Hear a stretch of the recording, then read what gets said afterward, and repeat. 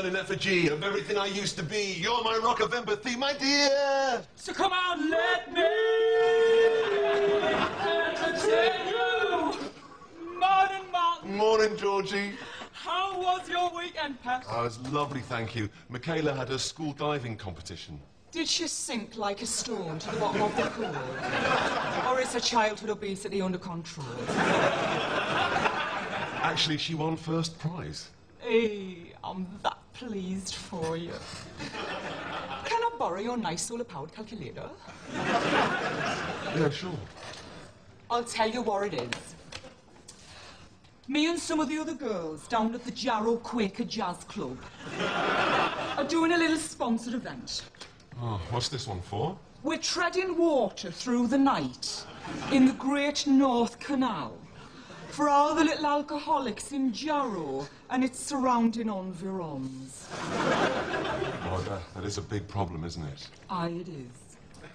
Did you know that every 38 minutes, an otherwise upstanding member of the community pops out to buy a newspaper and rolls back a week later, stark bollock naked and covered in tattoos? Every 38 minutes. If you don't believe me, log on to the website www.ifuckingloveyou.co.uk forward slash have I told you I fucking love you. How much shall I put you down for?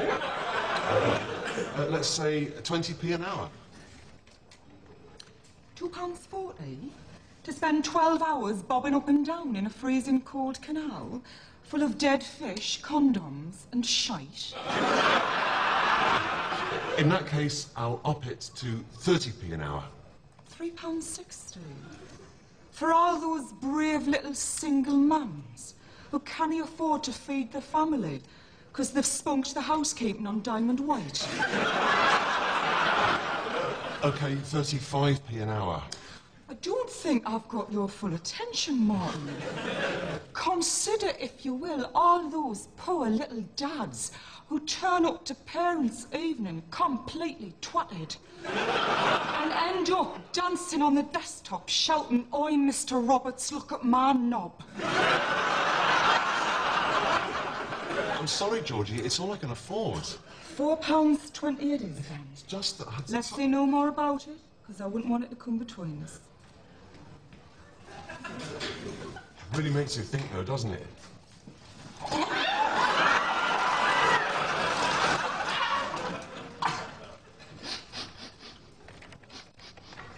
Have you been drinking, Martin?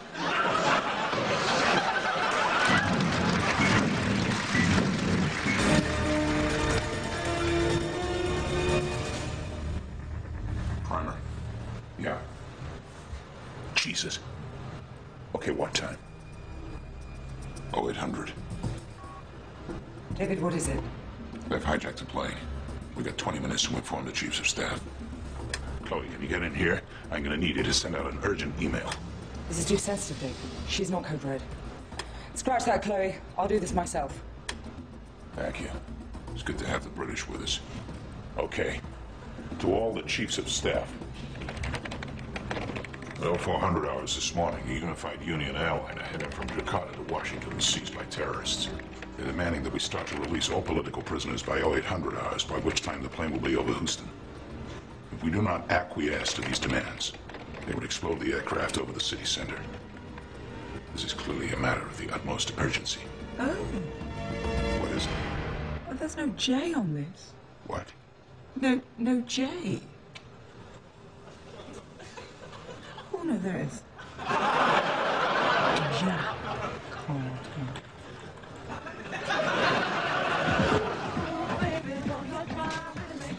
In there, Tonya. Won't be two ticks. Lock's wonky, so I'm keeping Dixie. Wasn't it a lovely wedding, Uncle Derek? And as for Naomi's frock, dear, a symphony in cream. I wept when I saw those page boys. Not everyone can carry off the munchkin look, but they did her proud. Wonder who'll be married next in the family. Could be you, Tonya. You still caught in that Darren? It'll be two years in June. No signs of a ring yet, though. Hey, it might be you and Uncle Leonard. I beg pardon?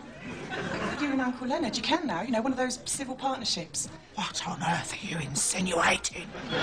I'm just saying that you and Uncle Leonard could have a gay wedding. Gay wedding? Yes, I just thought it might. How very dare you?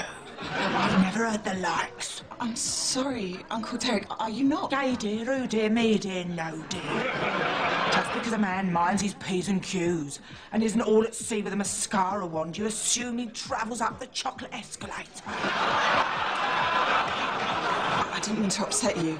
25 years Mother and I have been putting money in a Christmas card for you, and this is the thanks we get. Marry a man? Marry a man? How very, very dare you? and I'd avoid a calf length skirt in the future if I were you, dear. Your ankles are too puffy. Mother, I'll be in the bath.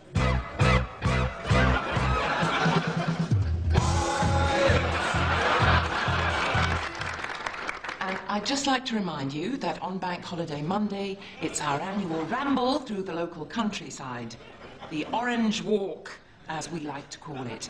And no, you don't need to worry. As usual, every precaution has been taken to ensure that we avoid normal members of the public. Something wrong, Sandra? I'm sorry, Rita. It's not that I'm not grateful, because I am. But I can't live like this anymore. I'm leaving Russet Lodge.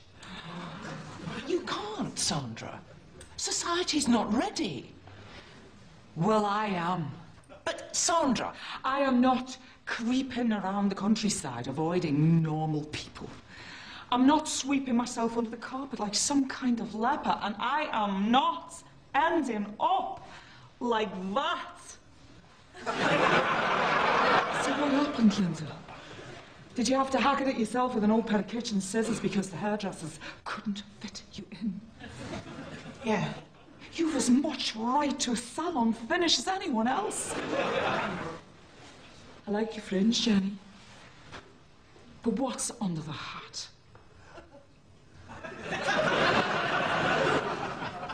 Jenny's new, Sandra. That's not fair. Is this fair? Enforced segregation. Hours of basket weaving with nothing to look forward to but a self-esteem workshop with Mick Hucknall. Ask yourselves, is that fair? Well, not for me. I want to go out there and hold my red head up high, and I will. I know what I am. I am Ginger. Ask yourselves, what are you? Right.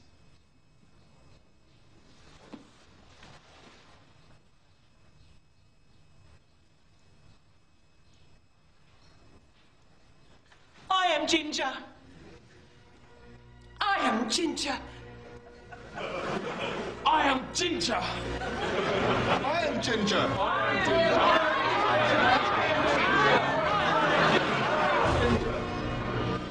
I.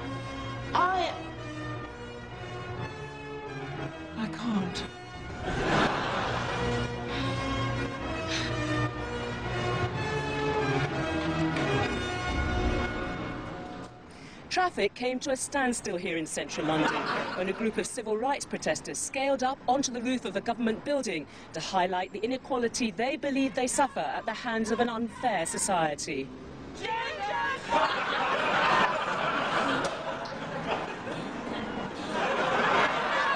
And in Parliament today, Prime Minister's question time was interrupted when a condom full of orange powder was thrown at Tony Blair during a discussion on the gingist attacks in South East London. It was later discovered that members of the pressure group Gingers for Justice had infiltrated the House of Commons dressed as ginger nut biscuits. Come on, you Reds! Give me a G! G! Give me an I! Aye, Sandra. What is it? It's quite sunny up here. I'm getting burnt. Fighting for liberation. A few extra freckles is a small price to pay. I'm sure we're doing the right thing, though. Don't let yourselves down now. Remember, be a ginger, not a whinger. Maybe Rita was right. Maybe we do belong in Russet Lodge. Maybe that's all we have a right to expect. Don't desert me now. We made our point. Can we go back down? Everyone, stay right where you are. The ginger nut is here. This fight has only just begun. Rita! Sandra.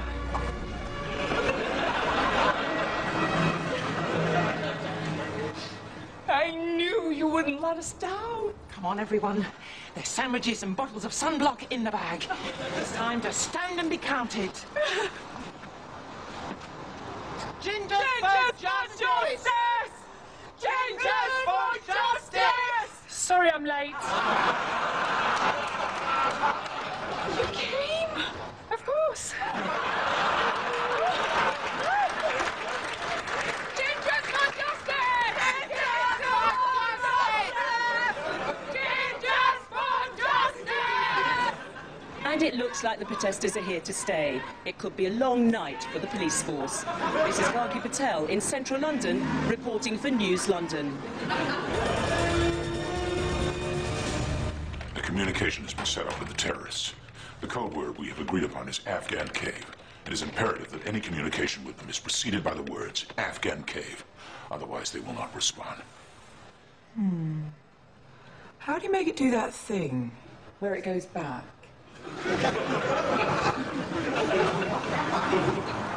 Morning, Neville. My nerves are in bits. Tough morning. Oh, I'll say. Who was it we had here this morning, Vern? You'd know 'em, Neville. Two blonde, one dark, one mousy. Not the Chapman twins. There's four of 'em. Funny accents. Like a sing song. Can't think. ABBA. Right. Four bigger chavs you never have met. Tell them what they had, Vern. Double jumbo sausage with curry sauce. Big eaters then. Oh, not much. Agnetha shoved hers down in one. So what were they doing around here then? Need to look at them show homes on Orpington Crescent. They want to look at them new apartments by the flyover. Much more reasonable. Couldn't be bothered pointing it out to them, Neville. I didn't take to them. But then I always preferred Brotherhood of Man. They made some lovely 45s. What did ABBA do? Song about a bloody train station. Onions, my lover. Yes, please. And then they all pile back into their camper van and drive off. Good riddance. That's what Vern said. But then Benny reverses right back up to the counter and it all kicked off big styly. Oh, yeah. I've got Agnetha mooning out of the window, Frida waggling her sausage in a most unsavoury fashion, and Bjorn in the front licking curry off his jumpsuit. I wouldn't do that on top of the pops. Any sauce? Uh, no thanks. Can I sell out with you on Friday? Of course you can, Neville. See you tomorrow. And he's coming here to the house. No, that's fine. I mean, actually here. No, I'm fine. Right. Abiento. I'm afraid I've got some bad news. The Land Rover Voyager has gone in for repair. But, Mummy, how shall we get to school? Try not to panic. But it's home economics today, and I'm presenting my scallops wrapped in Bavarian veal. I'm afraid the news gets worse. But how? We're going to have to have a hire car. Hire car? You mean a car that other people have been in? It's being delivered by a man from the garage. Do you mean a... Yes, darling. A mechanic. Morning, darling. I'm from the garage. I've got your courtesy car. Mummy, what is he saying? I mean you no harm. Are you all right, love? I'm sorry I don't understand what you're saying. Please put the keys on the floor and leave us in peace. Have mercy on us. You what, love? Please don't kill us. Here, look. I'll leave it there. You take it or leave it, all right?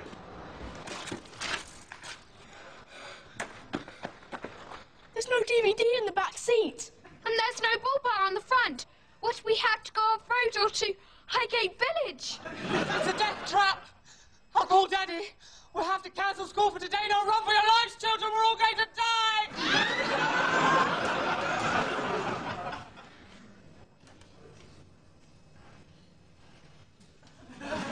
No deal, Noel. No deal. Bernie, what are you doing? Sorry, sister, I was just having a little bit of a breather. Are you eating crisps? Where are my manners?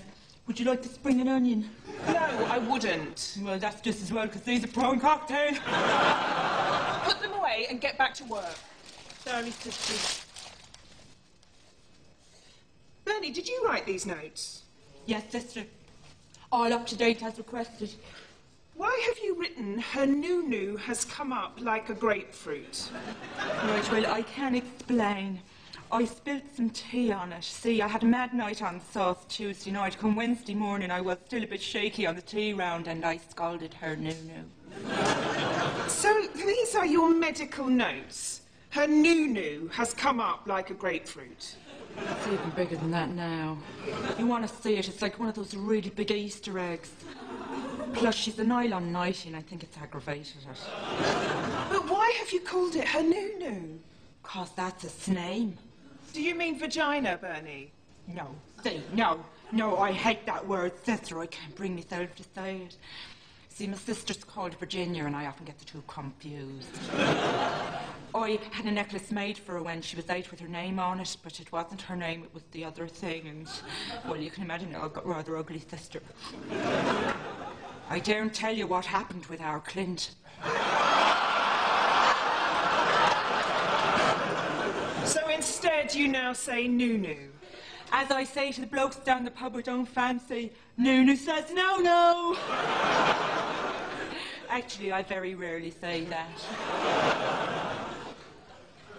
I have said it to Miss McFerry, though, because she's the look of a leather, don't you think? Bernie, you're not going to get very far in this profession if you're unable to use correct medical terminology.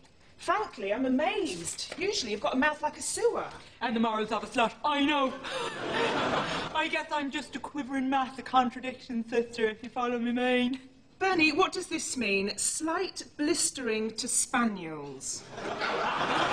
It's my fault again. It was the same tea round. I have apologised. Spaniels? Spaniel's ears. You know, Babylonias. She's a real hefty set on her as well. It's difficult not to spill stuff on them. Do you mean breasts, Bernie? Jesus, sister, the mouth on you. What do you like? These are medical terms, Bernie, and you are a medical professional. I know. I expect you to use correct terminology and to behave in a fitting manner. After all, this is a hospital, not a playground. I will not tolerate any more of this inappropriate slang. I understand, sister. Thank you for giving me a second chance, and I won't let you down again. Now, if you'll excuse me, I have to go to the high dependency ward to check on Mr. Chang's swollen ghoulies. What? Honest to God, you should see the size of them. One's big and bloated, the other one's small and shriveled. They look like Lauren Hardy. Bernie! Frankly, though, that's the least of his worries. You should see the state of his rancid little cock.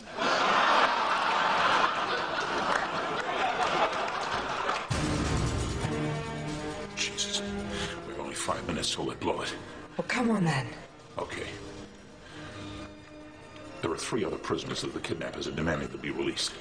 The first is a man called Hamid Farhan, of Jordanian descent. The second, Faisal Alam. Now, you know the NUM lock is on? is it only numbers that you get? So, in preparation for next week's exam, I think it's best we do a little test on the periodic table of elements. Lauren. Lauren. Lauren! All right. Just Lauren. All right. What on earth do you think you're doing? You were talking to Ryan and Lise They're my brethren, though, innit? whilst I was speaking. So? If you've got something to say, Lauren, why don't you tell the whole class? I ain't chatting to this crew. Well, then, perhaps you better complete this little test on your own. See if you like speaking to the whole class after that. Whatever. Uh, Okay, right. I'm going to point out some of these symbols on this table, and you're going to tell me what they represent. And if you don't complete this test with 100% correct answers, I'm going to put you on detention. Is it? Yes, it is. What does ZN stand for? Zinc. Correct. What about CA? Calcium. What does B stand for? What? What is B for? B is for boron. Correct. Ain't it now? MI. Am I bothered? No.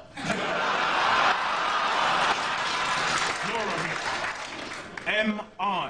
Am I bothered now? Are you? Are you disrespecting me? Are you, Lauren? Yes, I am. Are you a geek? Lauren, you. You is a geek, though. I am warning you. B-A. But are you a geek, though? Lauren. You are a geek, though. No, I'm not. You dress like one, though. No, I do not. Do you buy your clothes from a catalogue? No. Do you pay for them in instalments? No. Your jeans got an elasticated waist? No. You've got a reversible fleece? You've got a reversible fleece, sir. You are a geek. I'm not a geek, okay? I am a science teacher. Are you Stephen Hawkins? No. Are you Stephen Hawkins, though? No. Do you wish you were Stephen Hawkins? No. When you were at home, right? When you were at home, right? Yes. Right, when you were at home, Uh-huh. did you pretend to be Stephen Hawkins? No. You got a funny little voice box? No. Did you bowl about in a little No, wheelchair? that is unacceptable. Well, Stop doing it then. But no, that's, that is enough, okay? You're lucky I'm one of the more reasonable teachers in this school, otherwise you would be in a lot of trouble. As it is, I'm going to give you a second chance. F. Face. No. Bothered. Look, face. Look, bothered. Ain't even bothered though. Come on. Look at my face. Look, Look. at my face. Ain't even bothered. Look at my face. Periodic table. Look. Ain't even bothered. Look at my face Lauren. though. You're looking at my face. Face. I- Look, bothered. Boron. Bunsen burner. Ain't even bothered. I am Look, trying- sandals. Albert Einstein. Ain't even bothered. Stephen Hawkins. I ain't bothered. Look, still bothered. Look, face bothered. Bunsen burner. Go hiking. Ain't even bothered. I ain't bothered. Right. That's it, young lady. I cannot continue this lesson with you in here. I have given you plenty of warning. I would like you to collect your things and leave. And don't say another word.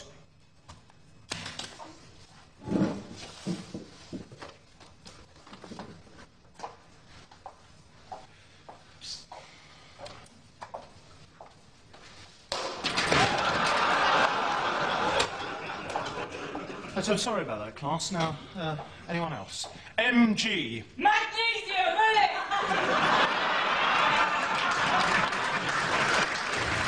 The organization we're dealing with is serious and will carry out these threats. I advise you to consider option red. Good luck, gentlemen. Special Agent David Primer. Send it. I just hope we're not too late. Now, where would that have gone? Maybe in that little bin thing. Oh. It seemed to have gone. You mean it's sent? No. I mean, it's gone. What? Oh no, it's come back again. Oh, it's gone altogether now.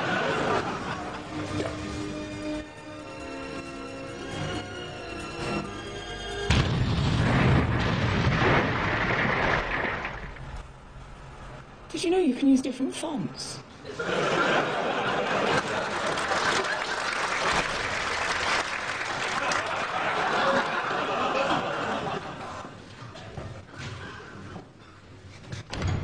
Sandra, Don't say anything. I brought you some clothes. Sorry. What for? You were right all along. I should have listened to you, but I didn't. I had a dream. The dream's over. Thought I could change the world. What was I thinking? Too much time on my pale, freckly hands. That's my problem. Sit down. The dream's not over. Things are changing. Not from where I'm sitting. Out there, right now, people are quite literally painting the town red. How do you mean? In response to the protest, gingers everywhere are coming out of their houses, hatless and proud. I can't believe it. Restrictions have been lifted in sandwich bars. Sandra, we're handling food again. Finally, people are beginning to take us seriously. And I've just spoken to Jenny. She's in the hairdressers, and someone has just asked for Auburn highlights. The fight's over. Oh, Rita. The future's bright, Sandra. The future's.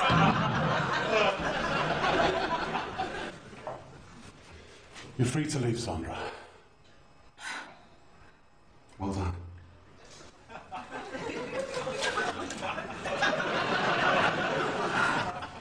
Come on, you. We're late. What for? The people who made Calendar Girls are making a movie about gingers for justice. There's talk of Rula Lenska playing me. We're meeting her at 12. Oh, Rita, my head's spinning. We're on our way. Rita, wait. Who's playing me? Bonnie Langford.